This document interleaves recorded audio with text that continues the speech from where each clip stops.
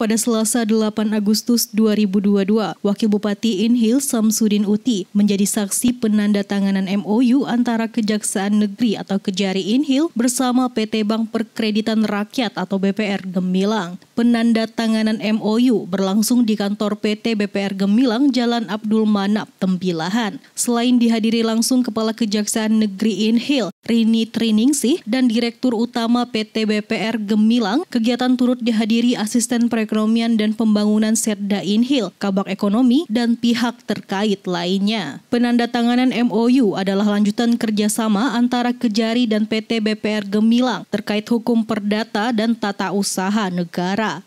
Jadi pada hari ini kita menandakan MOU dengan BPR Gemilang yang mana beberapa tahun yang lalu kita sudah melakukan MOU dalam bidang perdata dan tata usaha negara. Nah, ini kita perpanjang lagi dengan MOU yang baru.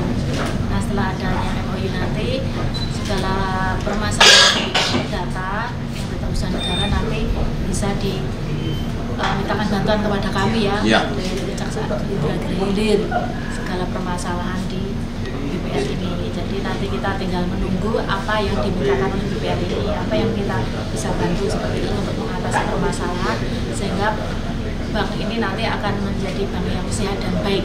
Walaupun sudah sehat ya, tapi mungkin lebih sehat dan lebih baik lagi. Gitu ya. Amin.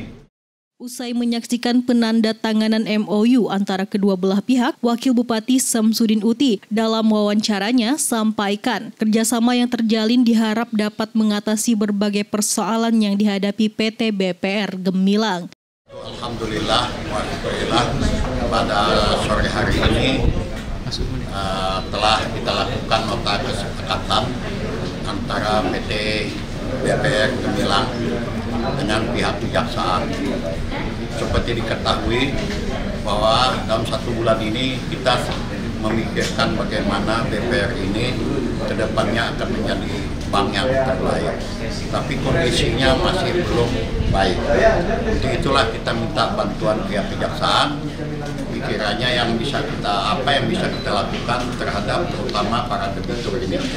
Kalau debitur ini dia, dia, tidak mau memberikan hal semua, mungkin semua masalah persanksian kami serahkan kepada kejaksaan. Ini sudah menjadi bagian beliau dengan adanya yang ini, tidak ya. Nah saya ingin lihat mudah-mudahan BPR ini akan. Sebagai badan usaha milik daerah, Pemkap Inhil mendukung penuh sinergitas PT BPR Gemilang dan Kejari. Hal ini sebagai salah satu langkah dalam meningkatkan pelayanan kepada masyarakat pada bidang perbankan. Edi Gunawan melaporkan untuk Gemilang Televisi.